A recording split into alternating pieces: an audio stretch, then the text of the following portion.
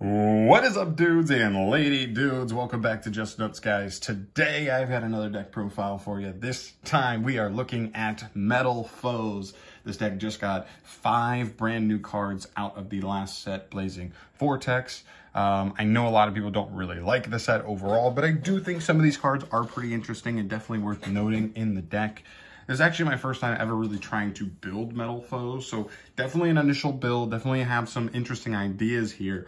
Um, just kind of messing around with some things. I'm not saying it's the most optimal build. If anything, it's more of a fun build, but I definitely have some ideas that I think are interesting and I would potentially want to expand upon in the future, but we'll obviously get to those when we get to those. So without further ado, let's just jump into our list. Starting off with our main deck monsters, the Metal Foes lineup. We'll start with the Vanillas, I guess. This is probably the best place to start here. Three copies of Metal Foes Volflame, three copies of Metal Foes Steelen, three copies of Metal Gold Driver, and three copies of Metal Foes Silverd. They're all good in their own way, um, straight up. Like they actually all are like really solid. They do the same similar things. The only things that change from one to one are really like their statistics, right? Their level, their scale, and their uh, attack and defense mainly. Um, so the two best ones are definitely Volflame and Gold Driver. Volflame is definitely the best one because it uh, it's the biggest body, so it's 24 2000, and uh, it's level 7, so it can help you get into like Odd Eyes Vortex plays, which can be very, very strong. Um, the only downside with Volflame is it can't be normal summons, so sometimes these can be better just because they're normal summons, but yeah, they all have a good stat. 2400 attack, 2100 defense, 1900 attack, 1700 attack. They're all pretty solid. So worst case scenario, you can always try and just play a, a simple beatdown strategy of just like hitting over your opponent and uh, putting them in a corner that way. But they're all good. These are your low scales. These are your two high scales. And uh, they all do the same exact thing in scale, by the way, if you don't know much about it. Metal Foes, they all can target another face-up card on the field while in scale, destroy that card, and then you can set any spell, uh, any Metal Foes spell or trap card directly from the deck. So you get a fusion, you get one of your traps, you get whatever you really want in that situation. There. All right, next up we have uh, some of our new cards, but mainly just the, the Metal Foes monsters that actually have effects. So three copies of Melcaster. She is the new girl uh, there. Two copies of Bismugear. I've considered playing Bismugear at more than two, but I think for this list, I'm just keeping it there. And then one copy of Metal Foes Vanisher. Uh, straight up, 100% honesty with you guys. I believe that Melcaster and Vanisher are straight up the two best cards out of all the new cards. The, the, the spell's okay, and I don't like either of the extra deck monsters. I just think both of these are actually really solid, though. Um, okay, so Melcaster is very good. She's essentially now just like the new best Metal Foes monster. She is a low scale. She has the same scale effect, pop a card, set another spell or trap. But if she's destroyed uh, by battle or card effect, she can uh, add one of your Metal Foes monsters that's face up in the extra deck back to your hand. You just can't activate it in scale. You can still summon it still use it as an extender, uh, you just can't activate it and scale that turn. So that's the only thing. Still a big body, 2,000, 2,500. And then Bismugear, she's classic. Same thing with the scale effect, but if she's popped uh, on end phase, she'll do a little Scarm action. She'll add you a Metal Foes from deck to hand. Very solid as well for helping you grind, continually getting you, um, you know, like a, a card back to your hand. And then Vanisher. He's the really interesting one. He's like the super different one from all the other cards if he's in scale and any other card you control, or if a monster specifically, sorry, is destroyed by card effects specifically, you can add a Metal Foes card from your graveyard back to your hand. What's really nice is this is any Metal Foes card, so this can help you get extra deck monsters back into your extra deck to do them again. This can help you get a fusion back, a one of your traps back, anything. So very, very cool. That's actually pretty nice. And it's a low scale. Sometimes you'll see um, decks when they have like a weird, awkward monster like this, like you can't pen summon him because he's too high a level. They'll they'll give him like a weird scale, so he doesn't fit in scale either. But he, if you don't want to, if you can't pen summon him, he's kind of stuck in hand. He's just a scale for you. Pop a card, he'll get you a card back for free. Like no big deal. He's actually pretty solid there. Then you have his monster effects. Um, he can like target two face of cards you control, including a Metal Foes card, destroy them, then summon himself. That's not always the best, but if you're destroying stuff like Melcaster and Bismugear, they'll make up the advantage anyway um, but it does get him on field. He's level 9, so he can contribute to um, VFD strategies, even though I'm not really building that here, and I don't think it's smart to build a deck around VFD right now, considering it could get hit at any moment. Um, and then when he is special summoned by the effect of a Metal Foes card, he can target and banish a monster your opponent controls. So sometimes you have the ability to do that on your opponent's turn, but mainly you just like do that over and over again and just like, boom, 2900 body, banish a card. 2900 body, banish a card. Uh, turn after turn, which is pretty damn good. So I like him at one. I'd even consider him at more than one because in the scale, he's still pretty solid uh, there. But uh, for now, just sticking with the one. Um, so that is it for all the Metal Foes cards, or monsters, I should say. They're very, very good. For an additional engine here, I'm playing one Qliphort Scout and one Qliphort Monolith. Um, this is definitely debatable, I would say, but it, it, really depends on your what your what your preference is. Some people just max out on Scout because they want to see it. Uh, the main idea is this is just a really simple engine that gets you to a Cyber Dragon Infinity. You just scale Scout, pay 800 to search Monolith, then you pop Scout with a Metal Foes, set up your scales, pen summon them back, and there you go. Two level 5 machines, that is a Cyber Dragon Infinity. Or just extra fodder, they're, they're vanillas on field, so they can be used to make like Alkahest and stuff, which is pretty cool. So, yep, just a nice little engine. Because we have a search card that we play at 3 that can get this, I didn't worry about playing multiples of it because they can be bricky in multiples, so just the one is plenty good for me. All right. Next up, we've got this is this is probably the spiciest part of the deck, uh, to be honest. Uh, two copies of Sangan and one copy of Witch of the Black Forest. These are essentially our normal summons in the deck. I don't have my Rescue Rabbits right now, so if I was playing a little more offensive build, you could definitely go with like a Rescue Rabbit engine or some other engine that's just like a plus one, gets you bodies out and stuff. But um, in place of that, and a really interesting idea I've been messing around with are these. Essentially what these do is when they're sent the, from the field to the graveyard, they'll add you any monster that's 1500 or less attack or 1500 or less defense, and you just can't uh, activate um, cards or the effects of cards with the with that card's name till the uh, for the rest of the turn. So you can't really use them, but they can search generic hand traps for extra disruption. They can search pendulum monsters. And while you can't activate them in scale, I believe, with these restrictions, you can just add them and then pen summon them out just for that extra, you know, body on field, which is still pretty good. So very, very cool. A lot of times this is like a slower kind of controlier more um, Metal Foes build. Like, so you just end up searching hand traps and just saying like, well, I can't do a ton on my turn. So let me just, let me just grab an Ash. Or if I have Ash, let me just grab a Belle and I'll have Ash Belle try and, try and like do your worst through that and like maybe another disruption, which is pretty cool. So I like that. You can even link them off and just get like free cards and, and that really works. So um, I think they're pretty cool in the strategy. Just me testing them out. They've been pretty decent so far. You don't have super offensive turn one, um, turn ones in this kind of build, but you do end up with like two, three, four disruptions uh, a lot of the time, which is pretty cool in its own. All right, so moving into the hand traps, obviously you got to be able to search stuff off of the Sangan and Witch. Two copies of Ash, one copy of Belle, one copy of Skullmeister, and one copy of Crow. Uh, these are kind of just all here because these two are only, or uh, Witch can only search these two, and Ash can only search these two. Actually, so Ash can search the Crow as well. Um, but I just wanted a variation, and uh, Sangan's a hard one return, so even though I think Sangan's generically better, grabbing Ash and Belle and Crow, um, he's a hard one to return. So if I'm going to draw two, I'd rather draw like one or one Sangan, one Witch instead of double Sangan, right? Because hard ones per turn. So um, yeah, just like that variation. And they're all fine. They're all pretty good hand traps in the format um, anyway. So it's totally fine that way. So that is it for all the monsters in the main deck. Moving on to the spell lineup, one Metal Foes Fusion, one Para-Metal Foes Fusion, and one full Metal Foes Fusion. These are all good in their own way. Metal Foes being able to shuffle itself back into the deck so you have infinite fusion spells while drawing a card when you do that, so it just gives you a resource back anyway. Para-Metal Foes allowing you to fuse using a monster from your face-up extra deck as well, just makes for very efficient uh, fusion summons, which is very nice.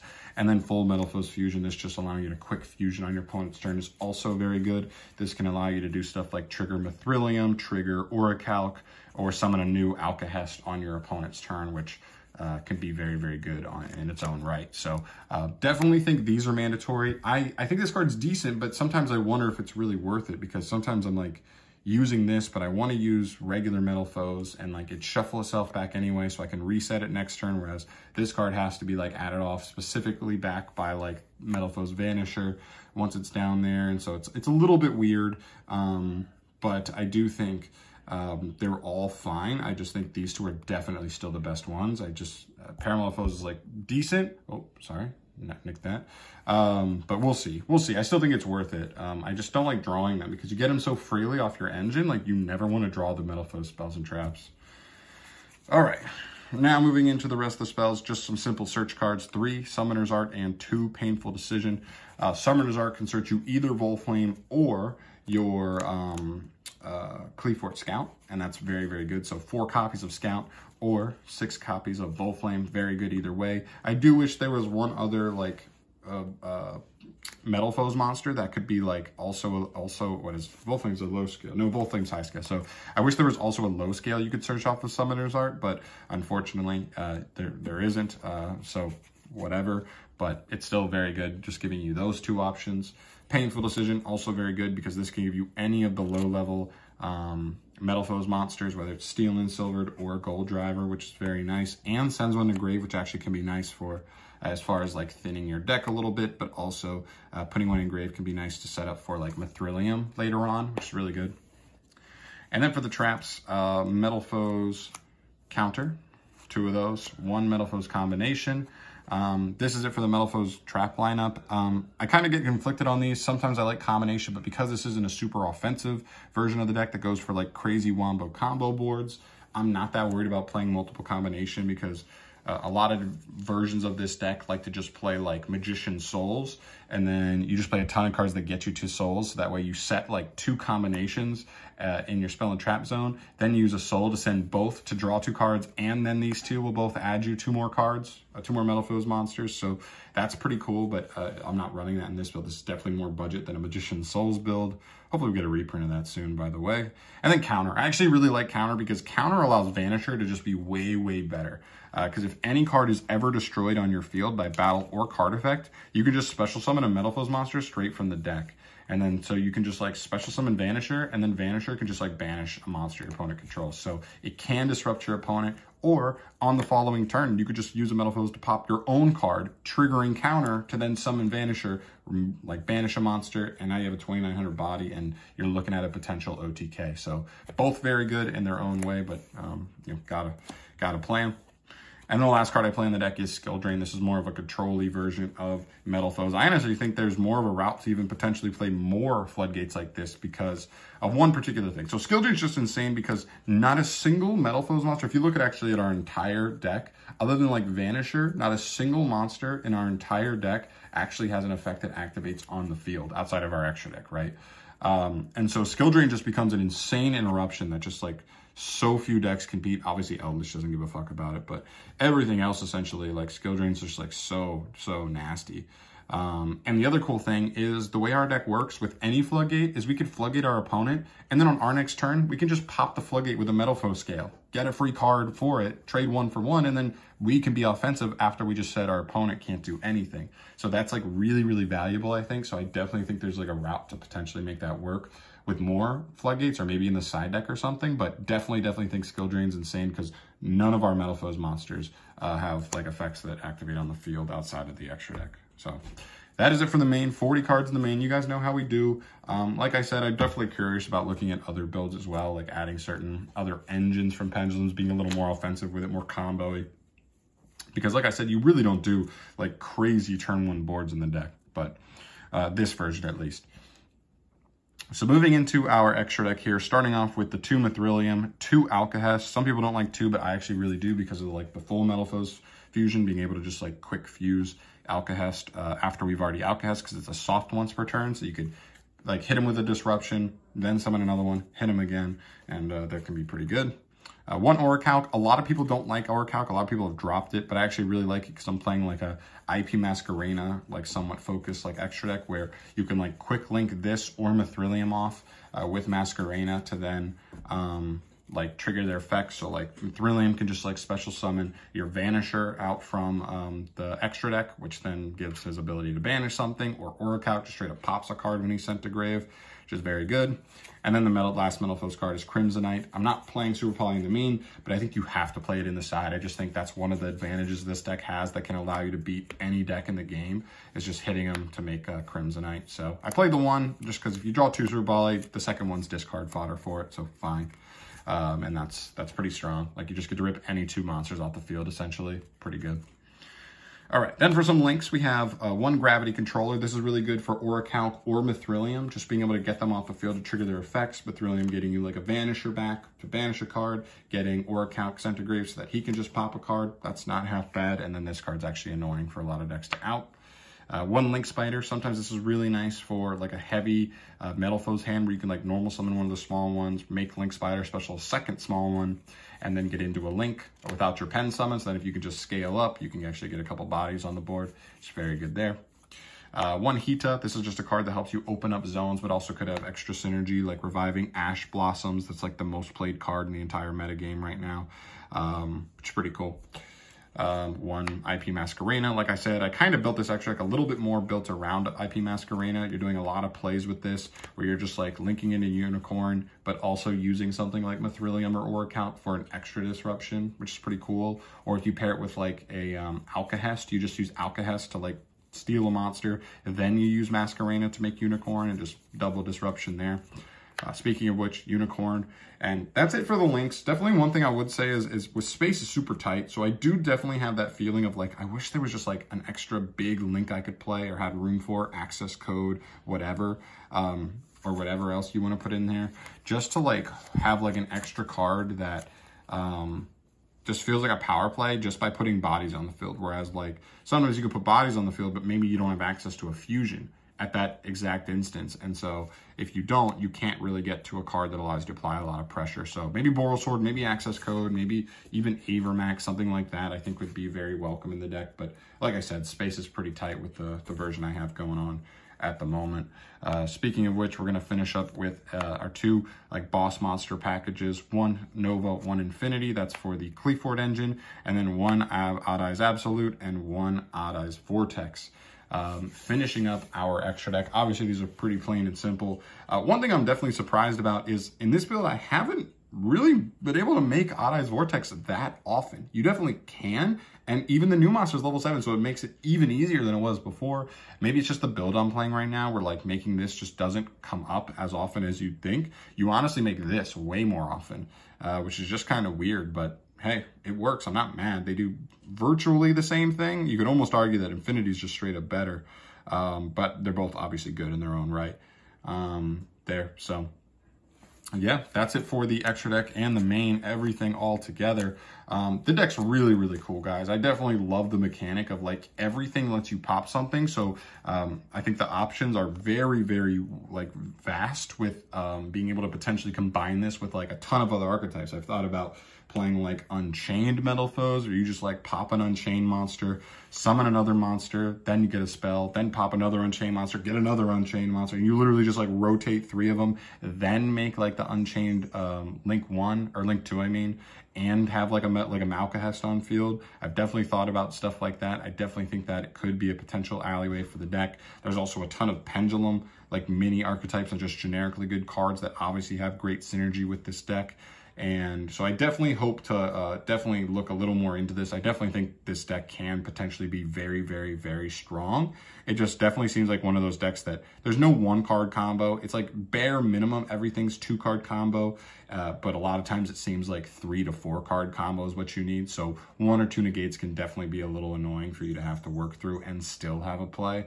So you just got to keep an eye on that and, and, do your best to build, uh, to make a build that, that you know, can do the best it can in this current format, the way Yu-Gi-Oh's really been played over the last couple years. So still a very, very cool deck. I'd love to hear your guys' thoughts on the build. This is definitely, like I said, a, a definitely a, a, preemptive build. This is like my first attempt at really making a Metal Foes deck.